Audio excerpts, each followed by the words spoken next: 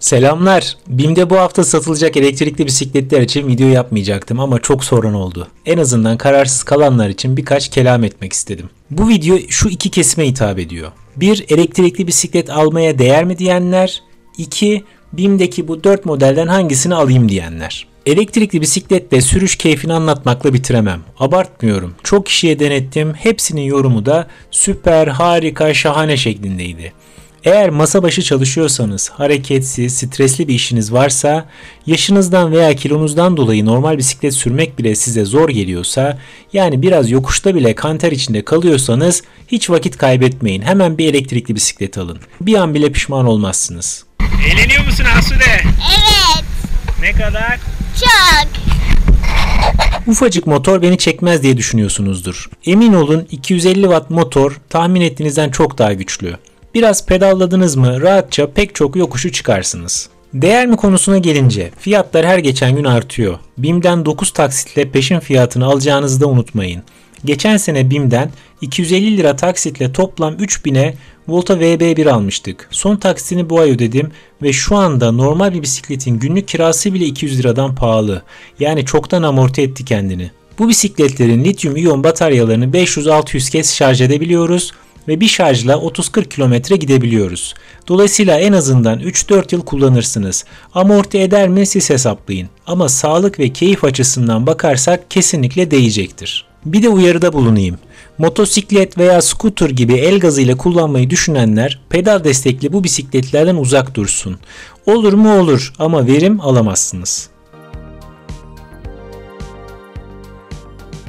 Şimdi gelelim BİM'deki elektrikli bisikletlere. Biliyorsunuz jiplerle ilgili iki tane video yapmıştım. Diğer inceleme videolarımdan da genel olarak bilgi edinebilirsiniz. 3 yıldır elektrikli bisikletim var ve her ne kadar bunların benzerlerini denemiş olsam da bizzat kullanıcıları kadar iyi bilemem. O yüzden internetteki inceleme videolarını izlersiniz. Kübalarda model belirtilmediği için bulmanız zor olabilir diye ipucu vereyim. Küba ile RKS aynı firmanın markaları. İnce tekerlekli Küba için RKS MX25'i baz alabilirsiniz. Kalın tekerlekli Cuba Pro X için RKS RS3 Pro'nun incelemelerini izleyebilirsiniz. Çoktandır piyasada olan modeller. Jeep'in modelleri yeni satılmaya başlandı ama onların da çokça inceleme videosu çıktı. Benim incelemelerim genelde kötümser bulunuyor. Orta ve uzun vadede başınıza gelebilecekleri anlatmaya çalışıyorum. Ama şöyle de anlaşılmasın. Bu sorunların hepsi tabii ki başınıza gelecek değil. Hele ki bunların farkında olarak kullanırsanız yaşanma ihtimali daha da azalacaktır. Bu nedenle benim videoları o bakış açısıyla izleyin lütfen. Kalite konusunda da acımasız olmamak lazım. Neticede Volta, RKS gibi markalar zaten kaliteye vurgu yapmıyorlar. Fiyat performans ürünü satıyoruz diyorlar. Elbette kaynak yerlerinden kırılma, frenlerin tutmaması, servislerin kaba olması gibi şeyler kabul edilemez. Ama ne aldığımızı bilip beklentilerimizi de ona göre belirlersek daha doğru olur. Bu bisikletleri sorun yaşamadan kullanan da pek çok kişi var unutmayın.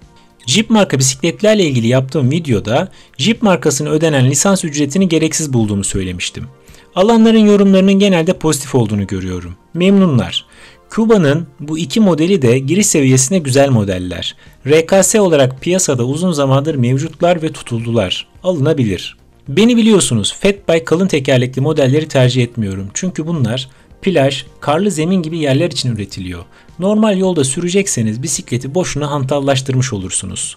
Taşıması filan da zor olur. Ama engebeli yerlerde nispeten konfor sağlayabilir. Görüntü olarak da bir cazibesi var. Zevk meselesi o yüzden çok bir şey diyemem. 4 model arasında tercih yaparken önce ince teker mi kalın teker mi ona karar verin.